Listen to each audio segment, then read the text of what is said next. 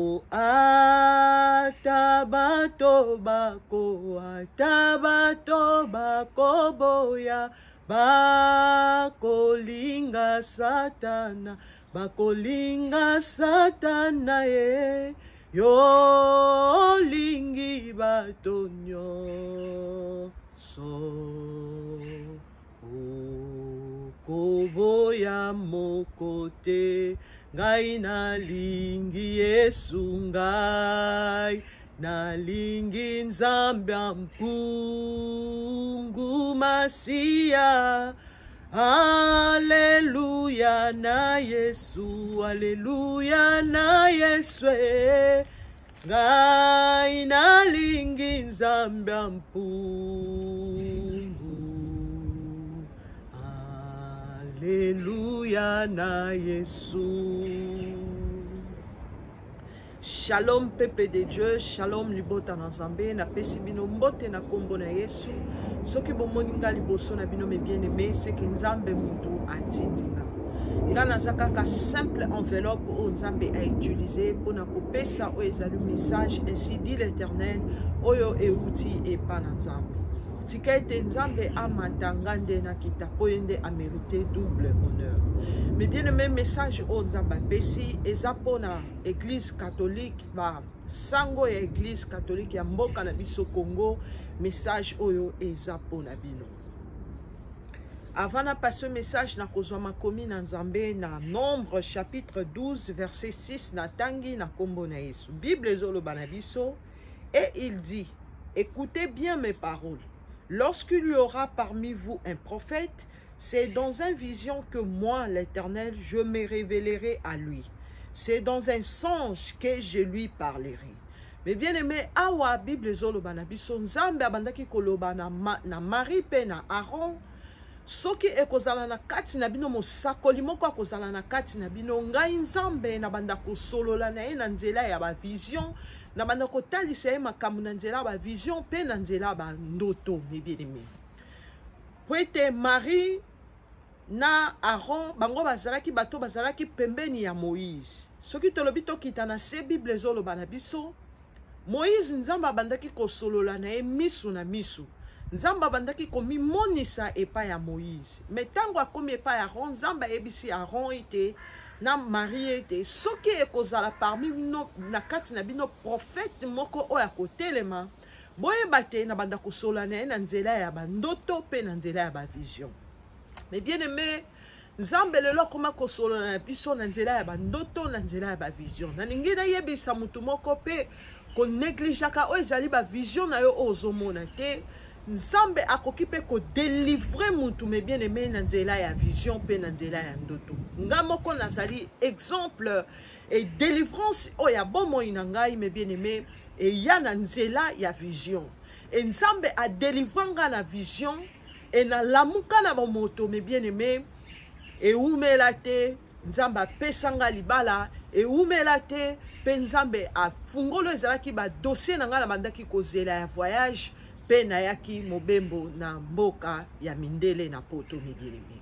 yango nalingi nayebisa motu moko konegligeaka oyo ezali bandoto na ozwaka te mpo ete na nzela ya bandoto nzambe akoki kotalisa yo likambo moko ezokóma na kati na bomoi na yo yo neglige etango likambo wana ekokóma oye kose souvenir après deja likambo wana ekómaki okoloba nini ke nzambe motu mabe non nzambe asi atalisaki yo yango koneglige ako ezali bandoto na yo te mingimingi nzambe asololaka na biso na nzela ya bandoto na nzela ya bavision e surtout oyo ebengami prophète to prophetesse yeba ke nzambe asololaka na biso mingi na nzela ya bandoto nde nzambe ayaka kodepose oyo ezali bamessage nzambe ayaka kodepose oyo ezali baprofesi lokumu kembo ezonga epa na nzambe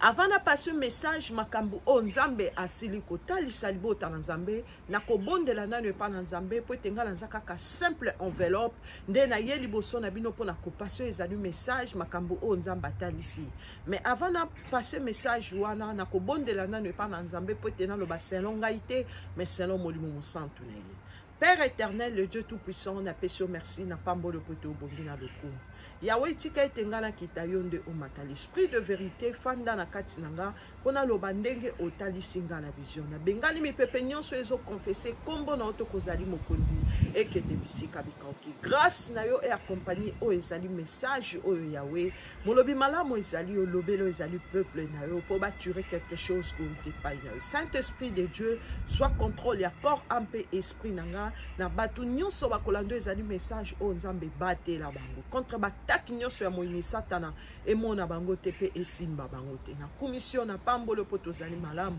nde nalobi merci seigneur jesus christ amen me bien aime nzambe aza malamu nzambe aza bolingo nzambe apesi message mpo na basango ya mboka na biso congo esengeli na bino bose repentir na makambo nyonso oyo bozosala na kati na mboka na biso ya congo esengeli na bino bose repentir parce que mabe eza liboso na bino ezoya lelo nalali nazozwa oyo ezali vision e vision nabandaki kozwa nzambe amemi nga na molimo na kati na mboka congo peuple de dieu namonaki bato bazosepela bazosepela mpo ete makambo nyonso ekomi malamu bazwi victoire bato babandaki kosepela na kosepela ndenge bato babandaki kosepela nga mpe nazotuna bango abi bozosepela nini abi eyo eh, ozomona vi ndenge ekomi te tozela makambo oyo mbula na mbula sikoyo ekokisami yango tozosepela babandaki kosepela mbala moko namoni bato babandi kokima mbangu bazokende vers rond point victoire na rond-point wana place des artistes bato bazokima mbangu bazokende kuna enga mpe na kati na vision natuni grand frère na nga bi bato oyo bazokima mbangu bazokende wapi abi oyo oh, bazokende bango nyonso na rond point victoire na place des artistes bazotumba basango kuna nga nalobi nayebisi grand frère na ngai ambi bazotumba basango nga alobi e eh, me bino bozosepela ke mboka ekomi malamu ndenge nini lisusu bazotumba basango peuple de dieu na ngai na grand frère na ngai tobandaki kokima mbangu mpo na kokende kotala ndenge bazotumba basango Tango tokomi na rond point victoire na place des artistes peuple de Dieu na moni plus de 25 sango bazobwaka bango na moto bazotumba bango e moto ezalaki monene bazotumba oyo ezali basango ntango napusani namoni journaliste moko mpe namonaka ye asalaka baémission na, na, na youtube natuni ye nga alobi namoni bazotumba basango problème eza nini nde alobi na ngai alobi oh ma sœur oyebi te basango bazalaki main noire makambo oyo ezoleka na mboka na biso e bango bapartisipaki na makambo nyonso ya mabe oyo ezoleka na kati na mboka na biso yango omoni bazotumba bango parce que baguerre makambo nyonso ya mabe tozosibir ya makasi makasi na mboka na biso e basango bazopartisipe na makambo nyonso wana mabe yango omoni population ezotumba bango Et journaliste wana bandaki kaka ko filmer. Peuple de Dieu na telemi na moni ndenge bazo tumba basango. Et na kati na vision tango na moni bongo esalaki nga siko mawa pe pasi na simbi grand frère na nga na liboko na bandi kolela na solo banga lobi ah bazo tumba batu boye botika nzamba ko juger bango bango moko botikela nzambe jugement na ye nga siko na bande koloba bongo na kati na vision et peuple de Dieu bazo bwaka basango na moto bazo tumba basango et na supportaki oyo ezalaki vision wana te mbala moko nayaki kobima ezalaki vision ntango na prie epa na nzambe nabondeli e molimo na nzambe eyebisi ngai elobi mwana na ngai makambo natalisi yo eza makambo oyo ezolinga koya na kati na mboka na yo kende kopase oyo ezali message oyo kende koyebisa oyo ezali basango ya mboka ya congo base repentir balongola maboko na bango na kati na gouvernement balongola maboko na bango noir mai noir na bango oyo ezali bazosala peuple mabe yebisa bango balongola maboko na bango oyo batie na kati ya population bazoniokola ezali population bazolinga te population eresir bazolinga te oyo ezali gouvernement ya mboka na biso et réussir na ba projet nyonso oyo baza nango et bango mutu bazali main noir kende ko passer message oyo yebisa bango ba se repentir yebisa ba sango ya mboka na ya Congo ba se repentir mais bien aimé yango naye ko passer oyo ezali message oyo epa ba sango ya mboka na biso ya Congo ainsi parle l'éternel des armées e nzambe atelemi mpo na kojuge bino makambo nyonso oyo ya mabe bozosala na mboka kongo nzambe atalisi mpe nzambe alobi na ya kopasio message oyo ekomela bino bose retire na kati na mboka kongo bose retire na kati na mboka kongo soki bozomona ke boza puissant mais boyebaka eza na motu moko ezali jésus christ de nazareth azali le tout puissant aza na pouvoir ya kostope nyonso na kati na mboka congo oyo ezotelema ya mabe misala nyonso ezali ya mabe na kati na mboka congo jésus christ aza très puissant aza na possibilité ya kostope baforce nyonso ekotelema na kati na mboka congo e nzambe alobi na ngai nayebisa bino bose retire église catholique ainsi parle l'éternel des armées nzambe alobi nayebisa bino bose retire na mboka congo